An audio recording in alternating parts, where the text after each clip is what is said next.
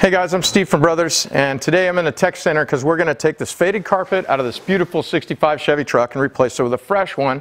And along the way, we're going to show you guys how you can do this at your house, give you some tips and tricks to make it easy when you're doing your own project on your classic truck. And we're also going to be installing a sound deadener kit as well as a heat insulated jute padding. And we'll talk about some of the reasons you're going to want to consider doing that when you do your project. Um, this is an easy job. It's probably a scale of 1 to 10. You're looking at a 2 or a 3. Might take you some time though, so set aside 2 to 3 hours so you can take your time, do a really nice job so it comes out looking like a professional upholstery shop did it. Now, and we can talk about some of the tools that it takes. These are typical tools you'll have anyway at your house. Uh, heavy duty pair of scissors, box knife, uh, a couple of Phillips screwdrivers. I use these to take the sill plates off, but also like to use them to poke through the carpet and the padding to find my fixed uh, mounting locations for my seat, seat belts, etc. Um, wrenches, obviously you're going to need those to take the seat out, and something to mark the carpet with once you find those holes. So, also your peripheral items like sill plates are important. You don't want to put a brand new carpet in there and then put rusty old sill plates on, so have some new sill plates, have some new pedal pads, as well as if you've got a floor shift, make sure you got a shift boot. And we've got some spray adhesive here to hold everything down. So the first thing I'm going to do is I'm going to get that seat out of there. We'll get this project going.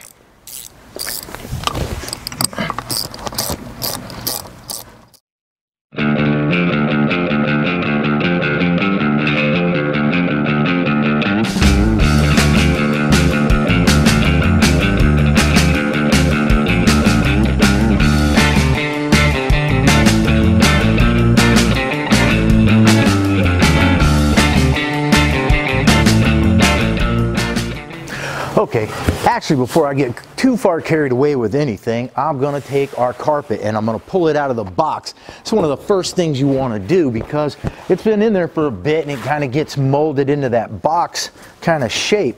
But we're gonna unfold it here and that's gonna make it easier for us to install it in a little bit. Also, I'm gonna put it out in the sun and that's gonna help it get warmed up. It'll make it more malleable and easier to get into all my nooks and crannies. Old carpet is out. We got to get this cleaned up because of course nothing sticks to dirt but dirt. So we're going to get all of the grease out of here, any of the padding that's left over, and we're going to get this cleaned up well. Then I'll go ahead and show you how to glue down our sound deadening. All right, my floor is nice and clean. Now I'm gonna go ahead and lay down my sound deadening. Now I do this on every car I build because I wanna make sure I can hear my stereo but not the road noise. If you just leave this bare, you get that tinny kind of noise out of it. But we can lay these down and you can put them over every inch, but you don't necessarily need to. If we use our map right here, we'll put them where they're strategically needed, and then we'll be able to get the most mileage from these as possible. If you don't have a roller, just grab yourself a socket and use that. All right, here's our insulated padding. This is gonna keep our cab comfortable all year round. You're living where it's cold, it's gonna keep you warm. You're living where you're warm, it's gonna help keep you cold. So when we lay this down, I'm gonna get it all laid out where I like it and make sure it's all laid out nicely. If I've got something like a, a shifter here, I'm gonna go ahead and place this up get my approximate hole, and I'm just going to cut it out large enough to be able to test and make sure that I'm in the right spot before I enlarge the hole. Now I'll make sure the rest of everything looks good and I'll show you what's next in just a second. This insulation's right where I want it. When I put it down permanently though, I'm going to fold it back just a bit of it. I'm going to make sure I get enough of the glue on the floor but also on my insulation right here. And when I lay this down, I'm just going to roll it forward nice and slow like this so I don't get any air pockets or wrinkles in it. Then I'll lift up the back half. I'll do the same with it. Then I can get my edges.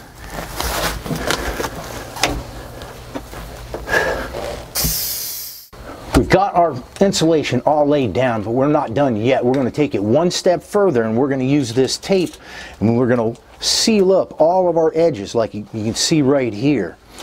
So this is a two-sided tape. You lay it down like this while you're pulling the backing off the back of the tape.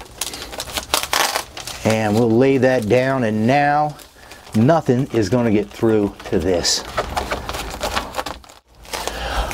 Before we lay down our carpet, we're going to want to find our old holes for our seats or anything else like seat belts. So I've got a buddy down below poking up through the holes. It's the easiest way to do it.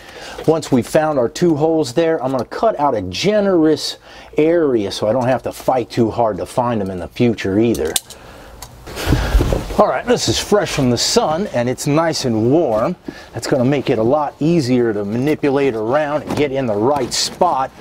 Once I've got everything centered perfectly, then we'll see about cutting out stuff like our shifter arm here. So we want to make sure that our carpet is centered. Now in this particular case, we're lucky and we've got this hump right here. What I'm going to do is I'm going to pull back the carpet without moving it because we just got it where we want it. I'm going to go ahead and I'm going to spray the glue on my center here And after I'm sure that this is good and secure, I can work the rest of my carpet from the middle out.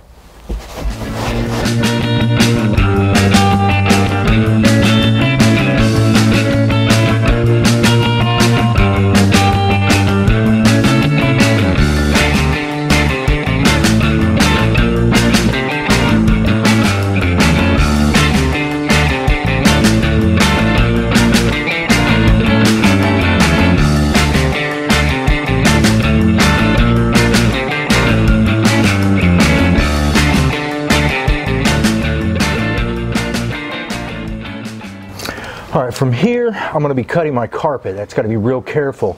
I'm gonna use this gutter right here that's just above our sill plate area, and then I can tuck the carpet into that and use the razor to cut it and get a nice straight line. When I get to the edge here, I'm gonna actually leave the rest of this carpet and I'm just gonna tuck this into the corner so I get as much noise suppression out of every bit of fabric I get. All right, our carpet's just about done, but before we get too far, we're gonna go ahead and take care of some extra things. We're gonna get some speaker wires. Now, we don't even have any speakers even going back here, but we're gonna go ahead and get these up there now because they're gonna be a lot easier to do than in the future. So I'll route this baby up underneath and up to my radio. Here, I'm going to tuck it underneath the carpet. And I'm to make sure that I'm away from any of the screws that are going to hold my sill plate down. And don't forget your dome light wire or any other wire you might have for boom boxes or your um, gas gauge or anything like that. Just make sure they are away from anything that's going to cut them. We need to find out where the holes to bolt our seat down before we put it in, not after. We're going to get a nice pokey tool like this. I'll get a buddy, he'll stick it up from underneath and then I'll get my razor and I'll just cut in an X and that's it.